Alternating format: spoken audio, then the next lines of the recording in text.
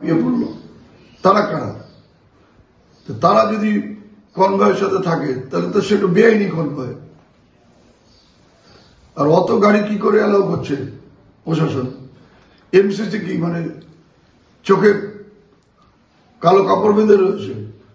আপনাকে অফিসিয়ালি নির্বাচন কমিশনকে নিয়ে এটা রাজ্য পার্টিকে জানানো হয়েছে নিশ্চয়ই জানানো হবে এটা কমপ্লেন এটা কেসও করা হয়েছে।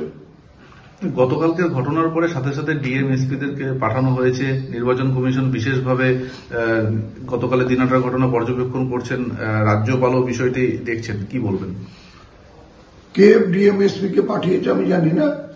তবে আমি নিজেও এসপি কে অনুরোধ করেছিলাম যে আপনি পারলে একবার নিজে এসে দেখে যান যে এগুলো দিনহাটার অবস্থাটা কি হচ্ছে পরবর্তীকালে ডিএমও এসছেন।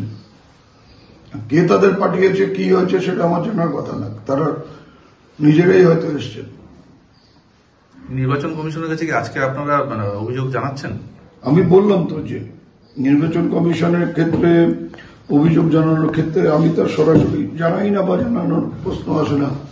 জানানো আমরা জেলা নেতৃত্বকে জানিয়েছি। জেলা নেতৃত্ব তো তারা কালকে এসছিলেন ছিলেন। রাজ্য নেতৃত্বকে সাথে জানানো হয়েছে পুরো ঘটনা। সবাই মিলে সিদ্ধান্ত নিয়ে যে করে করবে বলছি রাজ্যপাল রিপোর্ট চেয়েছে পুলিশের কাছে কি বলবেন?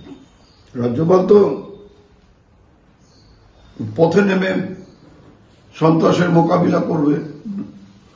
আমি রাজ্যপাল আপনাদের মাধ্যমে রাজ্যপাল মহোদয়কে অনুরোধ করব। উনি কালকে একবার যদি সময় পান সুযোগ পান তাহলে দিনহাটায় এসে যেখানে ঘটনা ঘটেছে, তার আশেপাশে অনেক ব্যবসায়ী আছে। একেও ব্যবসায়ী এলাকা দিনহাটার প্রাণকেন্দ্র দিনহাটা বড় চৌপতিতে এই ঘটনা ঘটেছে। ওখানে আশেপাশে যারা ছিল, সাংবাদিক বন্ধুরা যারা ওখানে ছিলেন বা হয়তো তারা এসছেন পাঁচ মিনিট, দশ মিনিটের মধ্যে, তাদের কাছে খোঁজ নিয়ে দেখুন যে কালকে কি ঘটনাটা ঘটেছে, কার জন্য ঘটেছে। একটা লোক যদি বলতে পারে যে তৃণমূল কংগ্রেস বা উদয়ন গুহ এই গোলমাল লাগাবার চেষ্টা করেছে বা গোলমাল লাগাবার জন্য ওখানে জমায়েত হয়েছিল।